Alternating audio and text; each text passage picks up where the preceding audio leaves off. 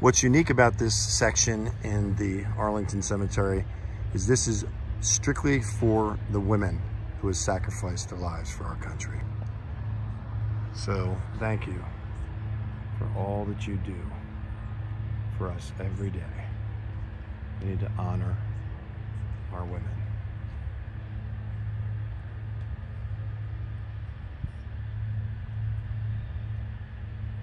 Thank you to the women who have made the ultimate sacrifice and the women that are sacrificing now. We are grateful for every one of you. Respect your woman, guys. Their love is a very valuable thing.